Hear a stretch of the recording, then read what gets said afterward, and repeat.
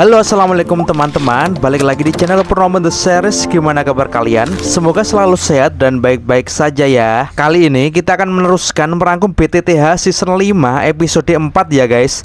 Dan karena filmnya belum tayang Seperti biasa untuk mengobati penasaran dengan keseruan petualangan Shoyan menuju ke Akademi Jianan Maka kami akan merangkum alur cerita spoiler versi komiknya dulu ya guys di episode sebelumnya diperlihatkan Shoyan yang membutuhkan Fanling karena Shoyan ingin mendapatkan potongan peta darinya.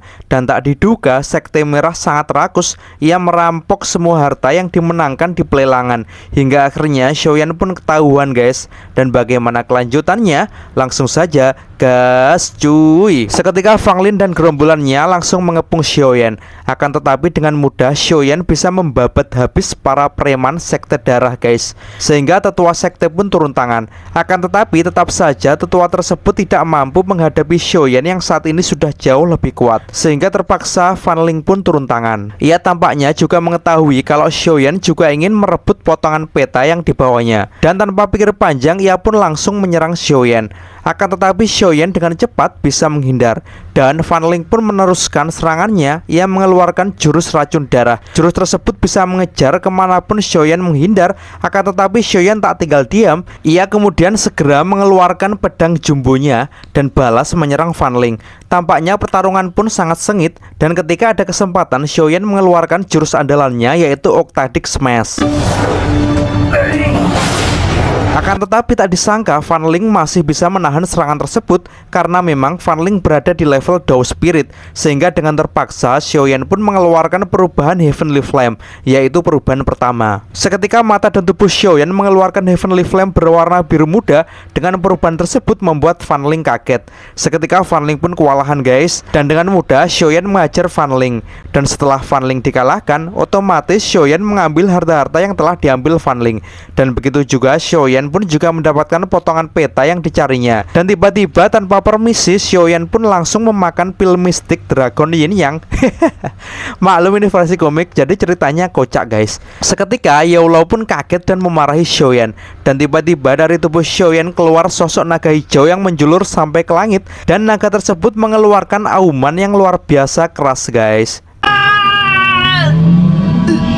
Shoyan sendiri tak menyangka kalau efeknya seperti ini. Akan tetapi tujuan sebenarnya Shoyan menelan pil ini adalah untuk mengetes pil tersebut. Karena pil naga mistik ini dibuat oleh Xiong Yaitu orang yang telah membunuh Yalao sehingga Xiaoyan tidak ingin gurunya teringat akan masa lalu yang kelam. Xiaoyan pun bertanya kepada Yao Lao apa yang harus ia lakukan dengan harta 3000 langkah peteri yang juga didapatkannya. Apakah Xiaoyan harus mengembalikannya?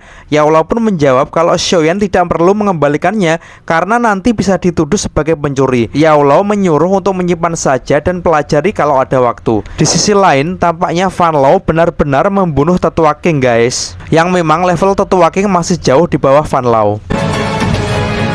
Scene kemudian diperlihatkan seseorang yang berambut panjang berwarna hijau Kemudian ada burung gagak yang mengirimkan laporan kalau di Black Seal ada pil roh hijau tiga pola Dan aura bone chilling flame dari Yao Lao Dan tampaknya sosok tersebut memang sedang mencari Yao Lao Apakah itu Han Feng ya guys? Yeah.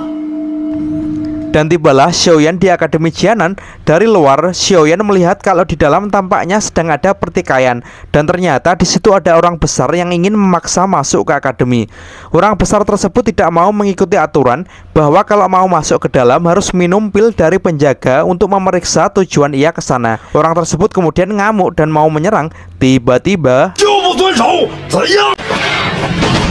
Eh, dan ternyata itu Xiaoyan Emang sih kalau di komik Xiaoyan orangnya banyak tingkah ya.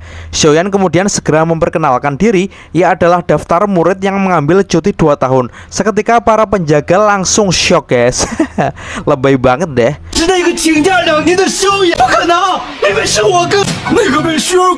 Para penjaga pun langsung memberikan sinyal. Dan tiba-tiba guru Ruolin pun datang guys. Dan ia pun segera menanyakan Xiaoyan Karena memang Xiaoyan sudah sangat ditunggu-tunggu oleh Sun Er dan gurunya Akan tetapi tiba-tiba Xiaoyan menghilang di mana ya guys? Dan ternyata Walaupun Master Wolin sangat kesal dengan Xiaoyan, ia pun langsung mengajak Xiaoyan dengan tergesa-gesa. Dan ternyata saat ini sudah dimulai kompetisi promosi akademi di mana Sun Er sudah mendaftarkan dirinya dengan Xiaoyan sehingga jika Xiaoyan tak segera datang, maka terpaksa Sun Er akan menghadapi lawan sendirian. Sin kemudian beralih di arena kompetisi promosi akademi. Tampaknya Sun Er sudah menunggu kedatangan Xiaoyan karena saat ini adalah giliran Xiaoyan untuk bertanding. Akan tetapi setelah ditunggu beberapa waktu Xiaoyan tak kunjung datang hingga kemudian Sun Er putus asa dan ia meninggalkan arena. Akan tetapi tiba-tiba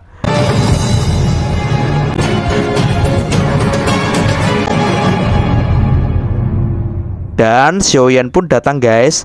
Dan cerita pun bersambung. Oke teman-teman terima kasih sudah nyimak alur cerita kali ini sampai habis. Semoga teman-teman terhibur.